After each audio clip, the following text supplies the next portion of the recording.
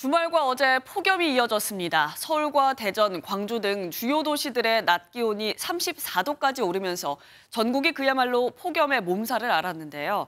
다행히 오늘 남부지방부터 비가 오면서 더위는 한풀 꺾이겠습니다. 김민수 기자입니다. 살수차가 물을 뿌리며 달아오른 아스팔트 도로를 식힙니다. 그늘이 하나도 없는 여의도 공원의 바닥 온도는 40도를 훌쩍 넘어섰습니다. 이런 상태에선 꽁꽁한 얼음도 힘을 쓰지 못합니다. 시간이 11분 정도 흘렀습니다. 땅에 있던 얼음은 흔적도 없이 사라졌고 컵에 담아뒀던 얼음은 절반 정도가 물로 변했습니다. 광장시장 내부는 폭염과 내부 열기까지 더해져 후끈거렸습니다. 불판의 온도는 160도를 넘어갑니다. 더위가 오늘 최고인 것 같아요. 오죽하면 옆에 가게도 오늘 나오는 가게인데 쉬잖아요. 생선 가게.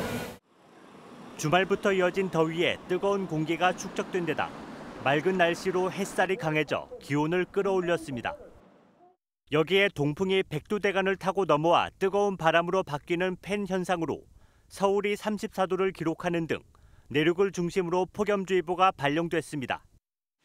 하지만 오늘 오후부터는 비가 오면서 무더위가 한풀 꺾입니다.